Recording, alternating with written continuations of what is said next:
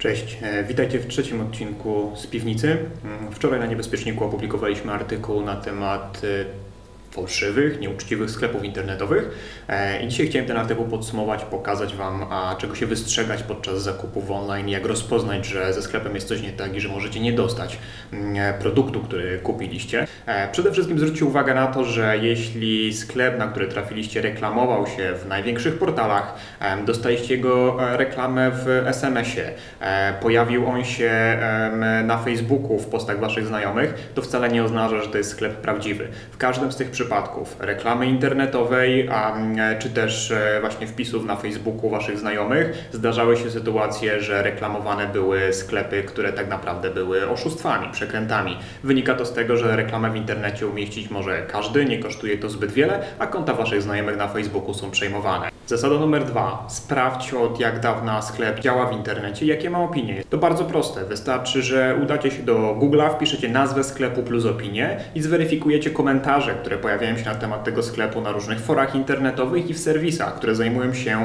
agregacją opinii na temat transakcji. Takich serwisów jest kilka. Warto tylko zwrócić uwagę, czy te serwisy, które mają pozytywne opinie o danym sklepie, nie są przypadkiem fałszywe.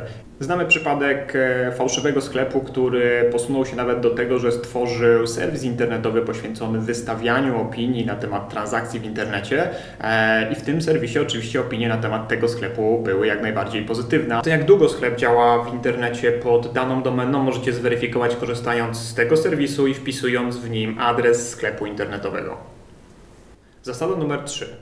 Rzuć okiem na regulamin i politykę prywatności sklepu internetowego. Każdy sklep powinien mieć te dwa dokumenty. Znajdziesz tam nie tylko dane firmy, która stoi za tym sklepem, ale również możesz namierzyć różnego rodzaju dziwne zachowania, takie jak na przykład wysyłanie przedmiotu dopiero po 21 dniach. E, wszelkie informacje, które wydadzą Ci się podejrzane w regulaminie mm, sklepu albo w polityce prywatności, e, powinny skłonić Cię do zastanowienia, czy chcesz zrobić zakupy w tym sklepie. Zasada numer 4. Zweryfikuj właściciela.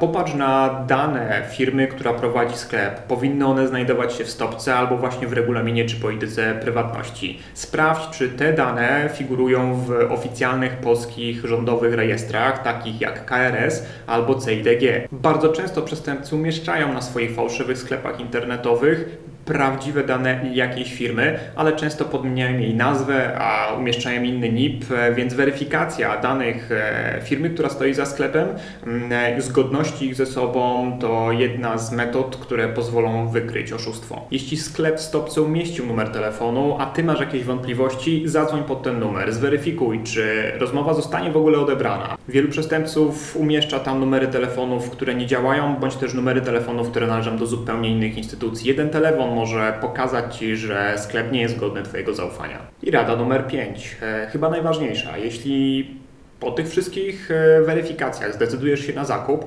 pamiętaj, aby dokonać tego zakupu za pomocą karty płatniczej albo wybierając przesyłkę za pobraniem.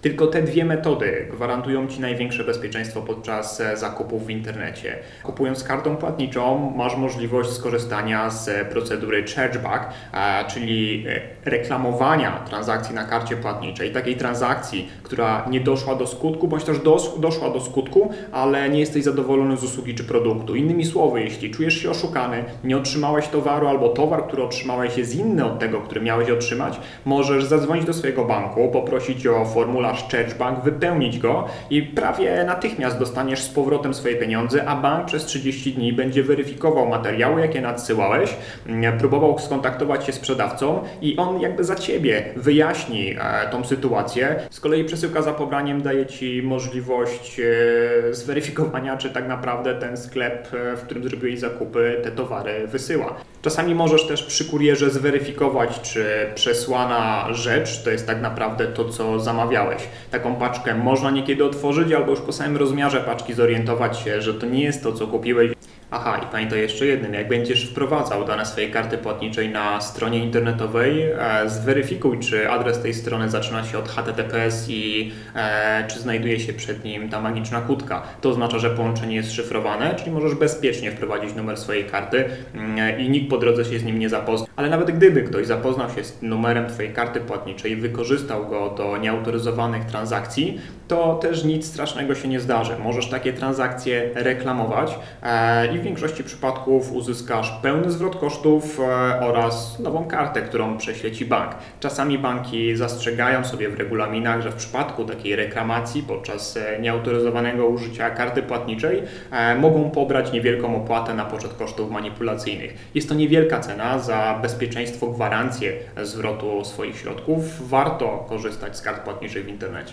I to już wszystkie rady. Gdyby się jednak okazało, że pomimo zachowania przez Ciebie e, staranności w weryfikacji sklepu, e, sklep, w którym zrobiłeś zakupy Ci oszukał, masz jeszcze kilka możliwości, które pozwolą Ci odzyskać e, Twoje środki, czy też reklamować towar, który do Ciebie dotarł, a nie jest zgodny z tym, co wydawało Ci się, że kupujesz.